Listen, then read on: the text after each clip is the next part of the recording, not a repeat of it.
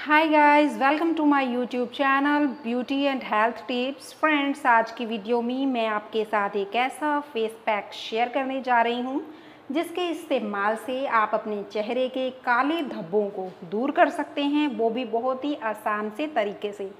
जी हाँ दोस्तों, ये होम रेमेडी बहुत ही इफ़ेक्टिव है और इसे बनाना भी बहुत इजी है। और इसमें जो मैं इंग्रेडिएंट लूँगी, वो भी आपके घर में, आपकी किचन में बहुत आसानी से मिल जाएँगे आपको।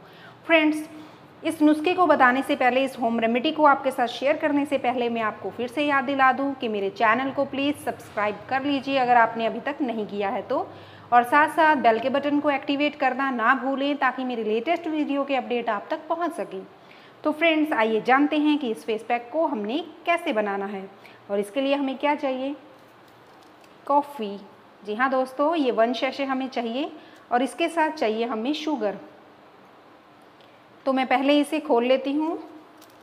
फ्रेंड्स, इसे बनाने के लिए हमें वन शेशे जो है वो सफिशिएंट रहेगा।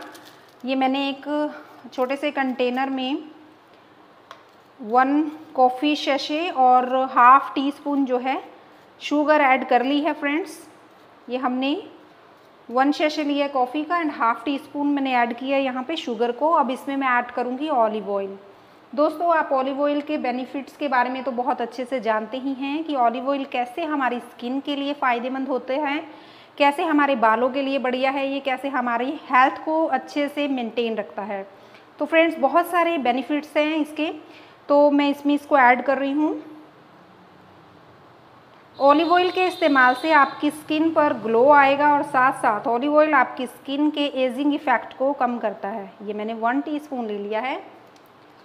फ्रेंड्स ये फेस पैक आपकी स्किन की जो ड्राइनेस है, उसे दूर करेगा और जो डेड स्किन सेल्स हैं, उन्हें भी रिपेयर करेगा। इसे मैं अब अच्छे से मिक्स कर लेती हूँ। आपकी स्किन पर ग्लो लाएगा, आपकी स्किन जो टोन है, उसे हेल्दी बनाएगा। एजिंग इफ़ेक्ट को कम करेगा डार्क स्पॉट्स को दूर करेगा और साथ साथ जो फाइन लाइंस होती हैं स्किन पर, उसे भी ये दूर करेगा। तो फ्रेंड्स आपका ये फेस पैक रेडी हो गया है। ये देखिए। बहुत अच्छे से मैंने इसे मिक्स कर लिया है फ्रेंड्स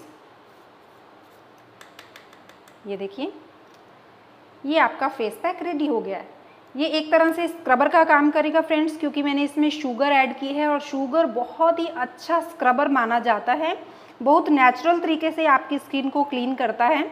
मैं आपको इसे अप्लाई करके भी दिखा देती हूँ थोड़ा सा अपने हैंड पर. ये इस तरह से हम लेंगे इसे.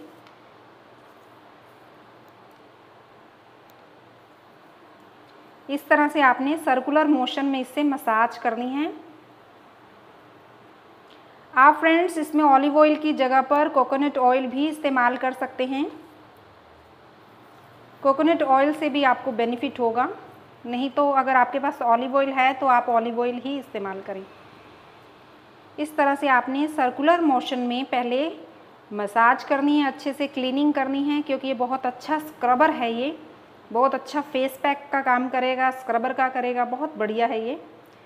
तभी मैं आपको कह रही हूँ कि ये होम रेमेडी बहुत ही इफ़ेक्टिव है, बहुत बढ़िया आपको रिज़ल्ट दिखेगा। फ्रेंड्स इससे आपने पाँच से सात मिनट तक इस तरह से मसाज करनी है और मसाज करने के लिए दस से पंद्रह मिनट तक अपने फेस पर इसे इसी तरह से छोड़ देना है। जब ये अच्छे से सूख जाए फ्रेंड्स तो आपने अपने फेस को ठंडे नॉर्मल पानी से वॉश कर लेना है। आप चाहें तो ठंडा वाटर ले सकते हैं या नॉर्मल वाटर ले सकते हैं। किसी भी तरह के वाटर से आप अपने फेस को वॉश करिए फ्रेंड्स इस तरह से हमने मसाज करके इसे 10 से 15 मिनट तक ऐसे ही छोड़ देना है। उसके बाद जब आप देखेंगे, इसे वॉश करेंगे तो आपको दिखेगा कि आपकी स्किन पर कितना ग्लो आ गया है।